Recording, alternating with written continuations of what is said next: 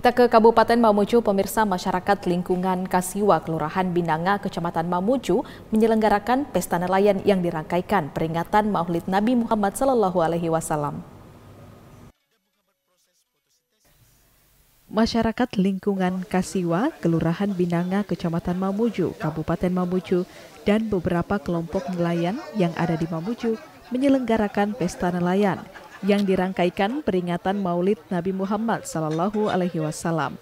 Kegiatan ini sebagai bentuk rasa syukur atas hasil laut yang mereka rasakan. Pesta nelayan ini merupakan tradisi masyarakat turun-temurun yang dijaga sampai sekarang. Kegiatan ini dihadiri Bupati Mamuju dan sejumlah pejabat tinggi daerah, baik eksekutif maupun legislatif. Dalam sambutan, Bupati Mamuju Siti Sutina Suhardi menyampaikan, ada dua sektor yang unggul di Kabupaten Mamuju, yaitu perikanan dan pertanian.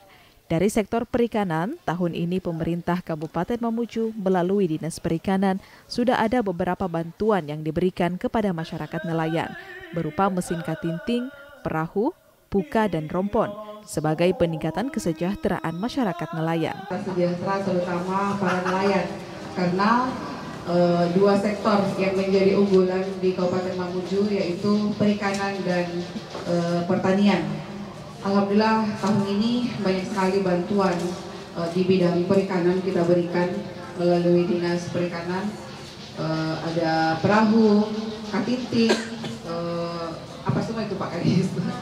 Uh, buka, rompong, rompong ya. Dan saya yakin pasti masyarakat uh, di kampung nelayan ini pasti banyak kelompok-kelompok nelayan yang uh, mendapatkannya.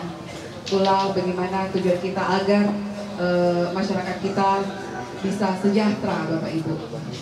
Sementara itu Ketua Kerukunan Nelayan Mamesa Tongan sekaligus Ketua Panitia Pelaksana Pesta Nelayan Andi Busman Anwar mengungkapkan Tujuan pesta nelayan ini untuk menambah kekompakan dan silaturahmi masyarakat nelayan dengan pemerintah kabupaten, khususnya pemerintah Provinsi Sulawesi Barat.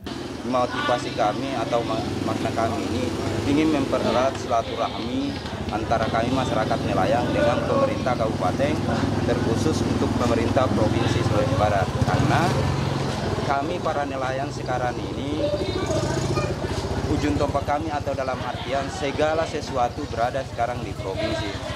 Tapi kami merasa bersyukur dengan bantuan pemerintah daerah, khususnya Dinas Perikanan Kabupaten dengan Lurah yang bekerja sama dengan kami, yang sejak awal ikut terlibat di kepanitiaan membantu kami. Ada ada berapa nelayan yang ikut ini? Total untuk wilayah Kabupaten Mamuju saja yang berdomisili di Mamuju ada sekitar 57 kapal. Andi Busman Anwar menambahkan ada sekitar 79 kapal nelayan. Dari Majene 11 kapal, Polman 10 kapal, satu kapal masih berada di Bontang, Kalimantan Timur. Dari 79 kapal nelayan, hanya 57 kapal nelayan yang mengikuti pesta nelayan dan konvoi dengan rute mulai Pelabuhan TPI Kasiwa menuju Pelabuhan Pangkalan Lanal Mamuju. Muhammad Adam.